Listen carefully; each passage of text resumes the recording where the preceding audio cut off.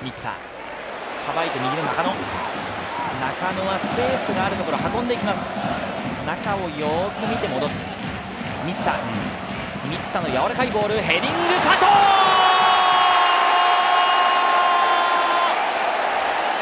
三田のクロス。加藤夢月。まあ、やはりこう水田選手のボールをこう持った瞬間に中野選手もねもうランニング相手の背後にランニングしましたし、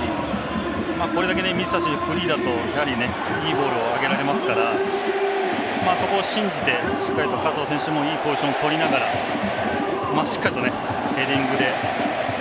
まあ叩きつけるヘディングでしたけど、まあ、しっかりコース狙ってね素晴らしい